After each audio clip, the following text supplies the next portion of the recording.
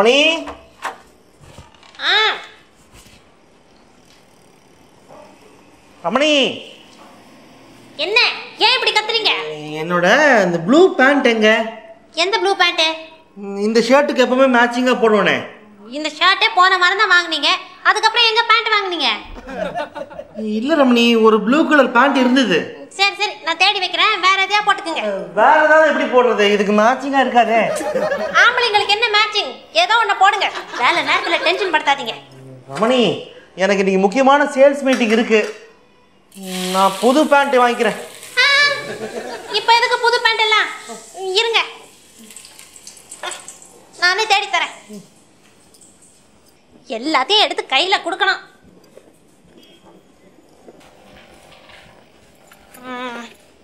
இந்தாங்க இதை போட்டுக்கங்க. என்ன ரமணி ப்ரௌன் பேண்ட் எடுத்து தர? எப்படி மேட்ச் ஆகும்? சேல்ஸ் மீட்டிங்ல எல்லாரும் உங்க பாஸையும் செவத்துல இருக்க கிராஃபியும் தான் மாத்தி மாத்தி பார்ப்பாங்க. உங்களை யாரும் பார்க்க மாட்டாங்க போட்டுக்கங்க. அதெல்லாம் முடியாது. நான் அந்த கபோர்டில் பார்க்குறேன். ஆ, அதுல ஏன் புடவைங்க மட்டும்தான் இருக்கு? எல்லாம் அடுக்கி வச்சிருக்கேன் கலைச்சிடாதீங்க. இதுலயே நல்லா பாருங்க கிடைக்கும். ரமணி இருக்கிறது எட்டு பேண்ட் பத்து ஷர்ட்டு இதில் எவ்வளோ நேரம் தேடுறது? நீயே தேடு. எந்த ப்ளூ பேண்ட்டை சொல்றீங்க? ஆ, அது ஆ எங்க சித்தி பொண்ணு சுகந்தி கல்யாணத்துக்கு வச்சு கொடுத்தாங்களே. எது? உங்க சித்தப்பா ரயில்வேஸ்ல ஒர்க் பண்றதால அவர் ஸ்டோர்ஸ்ல யூனிஃபார்ம் மெட்டீரியல் தான் சீப்பா கிடைக்கும்னு எல்லாருக்கும் யூனிஃபார்மா எடுத்து கொடுத்தாரு. அதுவா? அதான். அதை நீங்க யூஸ் பண்றது இல்லைன்னு நான் வேற யாருக்கும் கொடுத்துட்டேன். வேற யாருக்கு கொடுத்துட்டியா? என்ன ரமணி சொல்ற? யாருக்கு கொடுத்த? உங்க பைக்கை துடைக்க வருவானே காலையில ஒரு பையன். அவன் தான் பேண்ட் இருந்தா கொடுங்கம்மா நான் ஆமா இருந்தது கொடுத்துட்டேன். அவன் இத்தினோண்டு குள்ளமா இருப்பானே அவனுக்கு எப்படி பத்தும்? வெட்டி தச்சு போட்டுக்கிறேன்னு எடுத்துட்டு போயிருக்கான். ஐயோ போச்சு போச்சு. நல்ல மெட்டீரியல் ஏதாவது ஃபங்க்ஷன் வந்தா போடலாம்னு வச்சிருந்தேன். இப்படி தூக்கி கொடுத்துட்டேன்றிய. நீ கொடுத்தா இவ்வளோ புடவை வச்சிருக்க. இதெல்லாம் நீ யூஸ் பண்றதெல்லாம் யாருக்கா தூக்கி கொடுத்துற உனக்கு எப்படி இருக்கும்? அதுதான் ஒண்ணு விடாம அப்பப்போ கட்டிக்கிட்டு இருக்கேனே. அப்பப்ப கட்டுறியா? எவ்வளோ இருக்கு? முன்னூத்தி எழுபத்தி ரெண்டு தான் இருக்கு. முந்நூற்றி எழுபத்தி ரெண்டா? ரமணி டெய்லி ஒரு புடவை கட்டினா கூட முதல் புடவை ரிப்பீட் பண்றதுக்கு ஒரு வருஷத்துக்கு மேல ஆகுமே? அதான் சொன்னேன். அப்பப்போ கட்டுறேன்னு. வேஸ்ட் வேஸ்ட் ரமணி ஏதோ வேஸ்ட் வேஸ்ட்னு கார்ல விழுந்தது. என்ன வேஸ்ட் வாங்க மாமா. ஆ. கேட்டிங்களா? ரமணி கிட்ட முந்நூற்றி எழுபத்தி ரெண்டு புடவை இருக்கான் சரி அதுக்கு என்ன? அதுக்கு என்னம்மா என்ன மாமா இதில் பத்தோ பதினஞ்சோ கட்டி தான் நான் பார்த்துருக்கேன். மீதி எல்லாம் ஒரு தடவை கட்டினாலும் உள்ள தூங்கிட்டு இருக்கு. விடுங்க மாப்பிள லேடிஸ்னா அப்படிதான் இருப்பாங்க. என்ன மாமா இப்படி சொல்கிறீங்க இப்போல்லாம் முந்நூறுரூபா நானூறுரூபா கம்மி புடவையே கிடைக்கிறது இல்லை. இப்போ கிட்ட இருக்கிற பட்டு புடவெல்லாம் பன்னெண்டாயிரம் எட்டாயிரம் ஏழாயிரம் நாலாயிரம். அப்படி இப்படி ஆவரேஜாக ஒரு புடவைக்கு ஆயிரம் ரூபாய் வச்சா கூட மூணு லட்சத்தி எழுபத்தி ரெண்டாயிரம் ரூபா உள்ள முடங்கி கிடக்குமாமா என் ஒரு வருஷம் சம்பளம் கூட அவ்வளோ இல்லை. ரமணி என் சம்பளத்தில் பாதி நகைக்கும் புடவைக்குமே போயிட்டு இருக்கு போட்டோம் போட்டோம். ஏன் மாப்பிள கவலைப்படுறீங்க? இதுக்கு நான் ஒரு சூப்பர் ஐடியா சொல்லட்டுமா? என்ன? புடவையெல்லாம் பாத்திரக்காரனுக்கு போட்டு பாத்திர கடை வச்சிடலாம்னு சொல்றீங்களா? ஆ, அது இல்ல மாப்பிள இப்போ சிட்டில ஜெனரலா லேடிஸ் எல்லாம் புடவையே கட்டதில்ல எல்லாம் சுடிதார் தான் போடுறாங்க. என்னம்மா? அதுவும் இல்லாம இந்த புடவை எல்லாம் கட்டி கட்டி ரொம்ப பழசாயிட்டு இருக்குமே. ஆமா மாமா. நான் கூட இந்த பழைய புடவையெல்லாம் வச்சுட்டு புதுசா ஒரு செட்டு வாங்கணும்னு நினைச்சுக்கிட்டே இருந்தேன். இது ரெண்டுக்கும் ஏத்த மாதிரி ஒரு ஐடியா சொல்றேன் கேளு.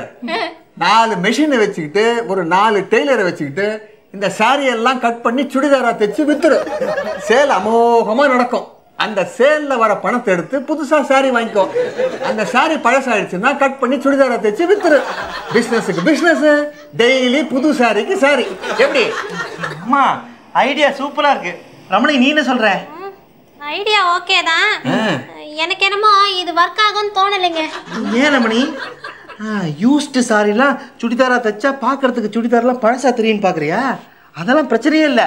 நம்ம ட்ரை கிளீனிங் போட்டு பாலிஷ்லாம் போட்டு அதெல்லாம் கட் பண்ணி தைச்ச வச்சுக்க சாரிலேருந்து கட் பண்ணி தைச்ச மாதிரி தெரியாது. ஃப்ரெஷ்ஷாக மெட்டீரியல் எடுத்து தைச்ச மாதிரி தான் இருக்கும். இல்லை மாமா? ஆ, மாமா நீங்கள் டெய்லருக்கு மிஷின்லாம் ஏற்பாடு பண்ணிடுங்க. நாளைக்கே ஏற்பாடு பண்ணிடுறேன். என்னம்மா சொல்ற?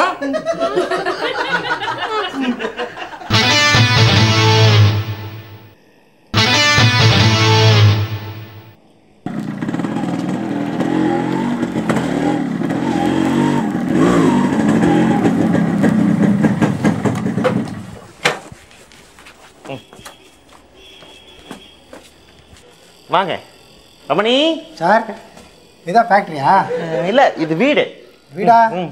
மிஷின்லாம் எங்கே சார் இருக்கு? மெஷின்லாம் காலையில் தான் வந்து இறங்குச்சு. எங்கே போட்டிருக்காங்கன்னு தெரியல.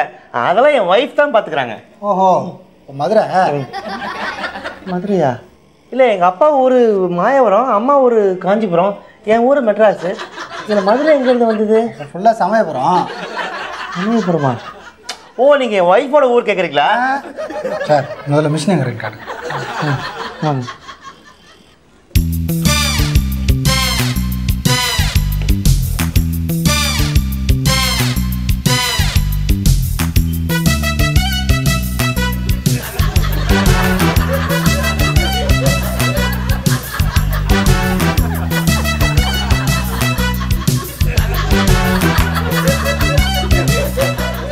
ஆமா. நீங்கள் சொன்ன மாதிரி மாஸ்டர் கட்டர் கூட்டு வந்துட்டேன். ஆ. மெஷின்லாம் எங்கே இருக்கு? ஃபாலோ த ஆரோ மாப்பிள சொல்லுங்க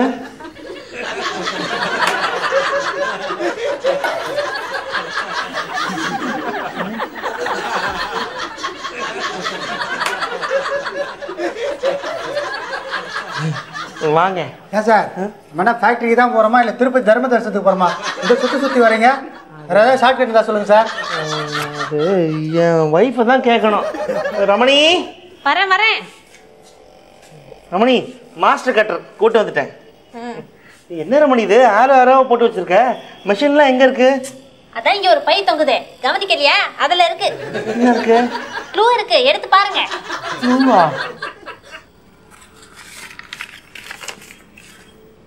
எதிர்நீச்சல் நாகேஷின் மேல் ஏறி வரவும்.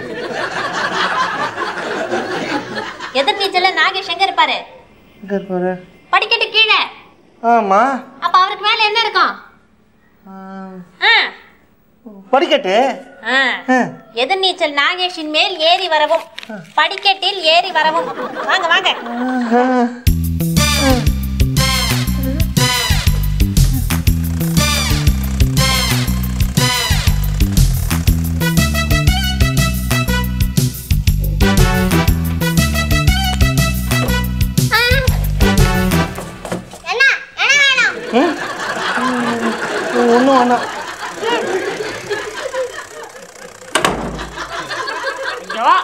அவள் ரூம் பக்கத்தில் தையல் மிஷின்லாம் போட்டுட்டோம். படிக்கிறதுக்கு டிஸ்டர்பன்ஸாக இருக்குன்னு அவளே கோவமா இருக்கா.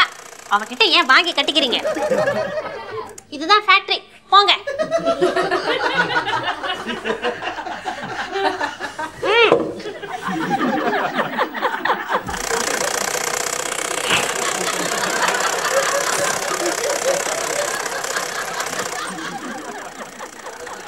என்ன ரமணி? துணி தானே தைக்க போகிறோம் அதுக்கு எதுக்கு புதையல் வேட்டை மாதிரி ஏரோவெல்லாம் போட்டு இருட்டு ரூமில் இப்படி சீக்கிரட்டாக உட்கார வச்சிருக்க?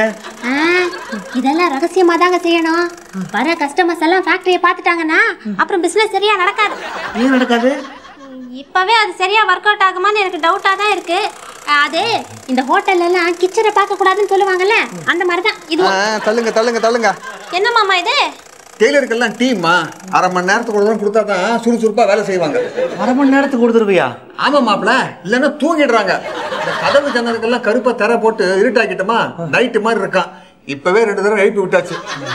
அப்புறமா இந்த மவுண்ட் ரோட்லேயோ டி நகர்லேயோ ஒரு ஆயிரம் ஸ்கொயர் ஃபீட்டுக்கு நல்ல ஷோரூம் ஒன்று பார்க்க சொல்லியிருக்கேன்.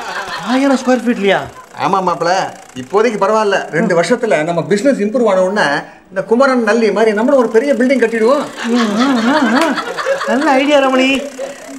ரமணி அந்த மாதிரி பிசினஸ் பண்ணும்போது கல்லாக்கு பின்னாடி பெரிய போட்டோ மாட்டி அதுக்கு சந்தன மாலைலாம் போட்டு சைடில் சீரியல் லைட்லாம் வச்சு கோல்டன் லெட்டர்ஸில் மண்ணை விட்டு பிரிந்தாலும் எங்கள் மனதை விட்டு பிரியாத எங்கள் வழிகாட்டி அப்படின்னு போடணும். டெய்லி அதுக்கு பூஜை பண்ணிட்டு தான் கல்லாவே திறக்கணும் சொல்லிட்டு. கரெக்ட் மாப்பிள. யாருக்கு உங்க அப்பாவுக்கா? இல்லை மாமா உங்களுக்கு தான் என்னவோங்க எனக்கு இந்த பிசினஸ் சரிப்பட்டு வரும்னு தோணல. என்ன ரமணி ஆரம்பத்துல நீ அப்படி தான் சொல்லிட்டு இருக்க. மாமா எவ்வளோ நல்ல ஐடியா கொடுத்துருக்காரு. சொல்லுங்க மாமா. ஆமாம்மா. இப்போ ஜாதகத்துல பத்தாம் இடத்துல சுக்கிரன் காலை வச்சாச்சு. அத்தோட குரு வேற நேரா அவனை பார்க்கறான். இப்போ நீ துரும்ப கிள்ளி போட்டேனா கூட தங்கமாயிடும் என்னவோ மாமா நான் துரும்ப கிள்ளி போட்டா தங்கம் ஆகுதோ இல்லையோ? என் நல்ல நல்ல புடவையெல்லாம் கிழிஞ்சு சுடிதார் ஆயிட்டு இருக்கு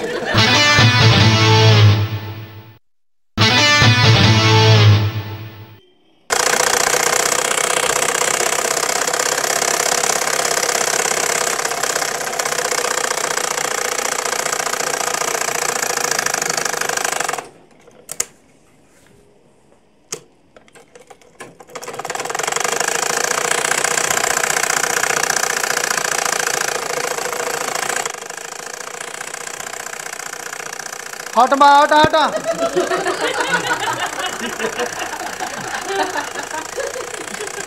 இவர் பாட்டுக்கு தச்சு தச்சு போட்டுக்கிட்டே இருக்காரு. ஆமா ஐம்பது ட்ரெஸ்ஸோட நிறுத்திக்க சொல்லுங்க. சேல்ஸ் எதாவது ஆகுதான்னு பார்த்துட்டு மிச்சத்தை தச்சுக்கலாம். சரிம்மா. ரமணி. எல்லாம் செட்டப் பண்ணிட்டியா? வெரி குட் வெரி குட் எவ்வளோ போச்சு? நாற்பது போச்சு. நாற்பது போச்சா? ரமணி நல்லி குமரன் ஆரம்பிச்ச போது கூட முதல் நாள் இவ்வளோ போயிருக்காரு. எல்லாம் ஒரு ராசி ரமணி. ஆமா நீங்க சொன்ன மாதிரி ஒரே வருஷத்துல பில்டிங் கட்டிடலாம். நாற்பது புடவை போச்சுன்னு சொன்னேன். நாற்பத்தொன்னு. மாப்பிள்ள நீங்க ரொம்ப அவசரப்படுறீங்க. முதல் நாளே இவ்வளவு விற்கணும்னா நாம என்ன ஹிந்துல ஃப்ரண்ட் பேஜ்ல கலர் ஆடு கொடுத்துருக்கோமா? இல்ல மெயின் ரோட்ல ஹோர்டிங் வச்சிருக்கோமா? மாமா சொல்ல நினைச்சேன். நான் கேன்வாசிங் போயிட்டு வர வழியில உட்லண்ட்ஸ் காம்ப்ளெக்ஸ்ல ஒரு ஹோர்டிங் பார்த்தேன். காலியா இருந்தது. ஃபோன் நம்பர் கூட நோட் பண்ணிட்டு வந்திருக்கேன். நம்ம இந்த இடத்துல மல்டி கலர்ல அட்வர்டைஸ் பண்ண வச்சிங்களேன் சேல்ஸ் பிச்சுட்டு போகும். இல்ல ரமணி? அதெல்லாம் ஒன்றும் போகாது. ஏன் ரமணி? சேல்ஸ் ஆரம்பிச்சு நாலு மணி நேரம் ஆகுது. இன்னும் ஒரு செட்டு கூட போகல. இதெல்லாம் யாரும் வாங்க மாட்டாங்கன்னு சொன்னா கேக்குறீங்களா? ஐயோ இப்படி எல்லாம் வித்தா யாரும் வரமாட்டாங்க. இருங்க. சுடிதார் சுடிதார் நூறு ரூபாய் சுடிதார். ஒன்னு எடுத்தா ஒன்னு ஃப்ரீமா சுடிதார் சுடிதார் சுடிதார். வாங்கம்மா வாங்க வாங்க. சுடிதார். நானும் போகுது. போய் அவளை கூட்டிட்டு வாங்க. சுடிதார், ரம்யா. வாங்கம்மா வாங்க சுடிதார் ரம்யா சுடிதார். ரம்யா நீ ஒன்றும் பண்ண வேணாம். நீ உள்ள போ நாங்கள் பார்த்துக்குறோம் நீங்க தான் வைக்க மாட்டேன்றீங்க என்ன கூட வைக்க விட மாட்டேன்றீங்க பிசினஸ் பண்ணவே தெரியல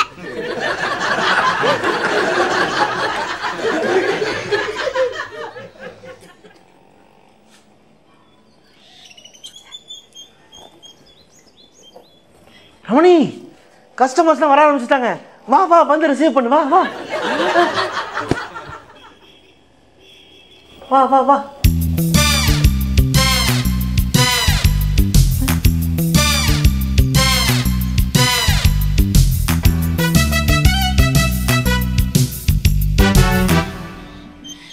வா பிரமிளா.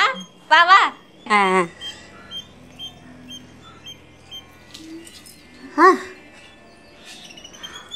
ரமணி பிடிச்சி போச்சு போல் இருக்கு பிடிச்சி போச்சு போல் இருக்கு. ஆஹா.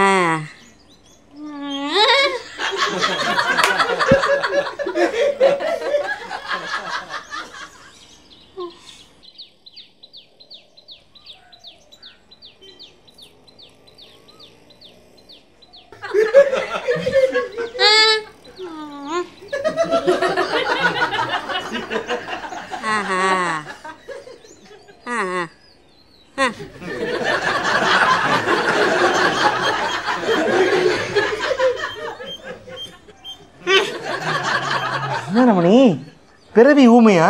ஊமையெல்லாம் ஒண்ணும் இல்ல. அப்பவே சொன்னேன் இதெல்லாம் வேண்டான்னு. கேட்டா தானே இப்ப பாருங்க. ரமணி கஸ்டமர்ஸ்னா அப்படி தான் இருப்பாங்க. அதுக்காக பிஸ்னஸ் வேணாம்னு சொல்லலாமா அவங்க என்னதான் சொன்னாங்க? சுடிதார் எல்லாம் பழைய புடவைய வெட்டி தச்சது தானேன்னு கேட்டாங்க. நான் இல்லைன்னு அவங்க நம்பல.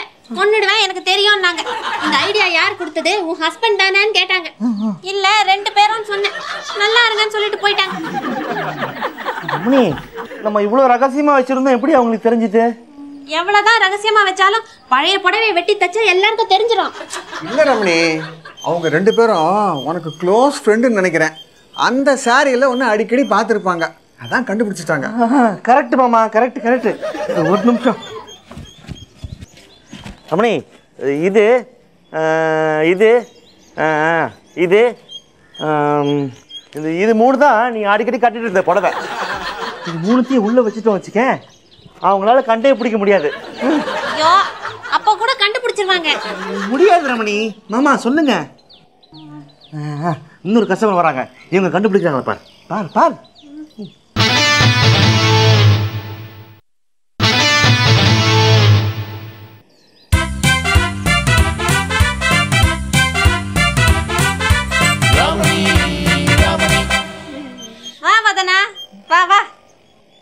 ரமணி எப்படி இருக்க? ம். ஆமா என்ன புதுசா சுடிதார் பிசினஸ்லாம் ஸ்டார்ட் பண்ணிட்ட? ஆ, அது இவர் ஆபீஸ்க்கு போயிடுறாரா? ரம்யா வேற ஸ்கூலுக்கு போயிடுறா. எனக்கு போர் அடிக்குது. அதான் இல்லைங்க அதுக்கு தான் பாம்பேல இருந்து புதுசா மெட்டீரியல்லாம் எடுத்துட்டு வந்து புது புது டிசைன்ல தைச்சிருக்கோம். சும்மா இருங்க. நீ பாரு.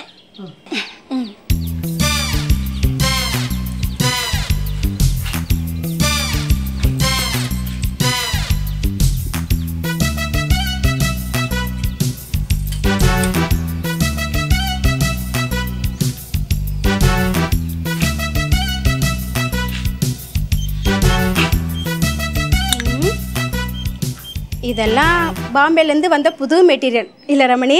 ஆ, ஆ, ஆமா ஆமா. ஏன் ரமணி திருவேக்கட்டில் உன் சித்தி பொண்ணு கல்யாணம் நடந்துச்சுல்ல? அப்போ அவங்க எடுத்து கொடுத்த புடவை இப்போ சுடிதாரா தொங்குது.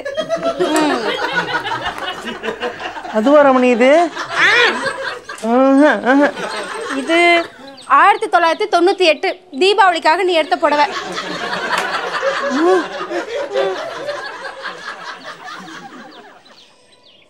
இது ஆடி தள்ளுபடி. வருஷம் கூட ஆயிரத்தி தொள்ளாயிரத்தி தொண்ணூற்றி ஏழுன்னு நினைக்கிறேன். ஆனால் இந்த பார்டர் மட்டும் உங்கள் அப்பாவுக்கு அறுபதாங்கலை நடந்துச்சுல்ல? அன்னைக்கு நீ ஒரு புடவை கட்டிட்டு வந்த ரமணி. அதுலேருந்து கிழிச்சு தைச்சிருக்க. சரியா? மாமா மாப்பிள்ள எனக்கு ஒரு அர்ஜென்ட் வேலை இருக்கு. இந்த இது electricity bill telephone electricity bill கட்டணும். வரட்டுமா அப்புறம் பார்க்குறேம்மா மாமா! அடட. இது காரைக்குடி ஆச்சு அவங்க பேரனுக்காக காது குத்துனாங்கல்ல? அன்னைக்கு நீ இந்த படவே தான் கட்டிட்டு வந்த. இதை கூட கிழிச்சிட்ட. என்ன ரமணி நீ? ம். இங்க சுடிதார்லாம் புதுசாக இருக்கும். வந்து பார்த்துட்டு போகலான்னு நினச்சேன். ஆனால் நீ பழைய புடவையை கிழிச்சு சுடிதாராக தைச்சி வச்சுருக்க. இதெல்லாம் விற்கும் நினைக்கிற? ஏன் சார்? இதெல்லாம் எங்கேருந்து வந்துச்சுன்னு சொன்னீங்க? பாம்பே. பாம்பேக்கே திருப்பி அனுப்புங்க. நல்லா சேல்ஸ் ஆகும். நான் வரட்டா?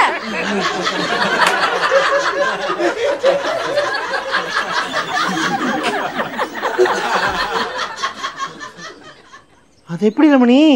நீ எந்த புடவை எப்போ எங்க எந்த ஃபங்க்ஷன் கட்டினு கரெக்டா சொல்லிட்டு போறாங்க அதான் அப்போல இருந்து சொல்லிட்டு இருக்கேன் இதெல்லாம் ஒர்க் அவுட் ஆகாதுன்னு கேட்டா தானே பொம்பளைங்கெல்லாம் மற்ற லேடிஸ் எங்க எப்போ எந்த புடவையை கட்டினாங்க நல்லா ஞாபகம் வச்சிருப்பாங்க. இந்த விஷயத்துல எப்பவுமே உங்களை விட எங்களுக்கு ஞாபக சக்தி ஜாஸ்தி. இனிமேல் இதெல்லாம் விற்காது எடுத்துட்டு வாங்க. ரமணி ரமணி. மனசு தளரக்கூடாது. பிசினஸ்னா அப்படிதான் இருக்கும். அது நீ இந்த ஏரியால எவ்வளவு பாப்புலர்னு காட்டுது.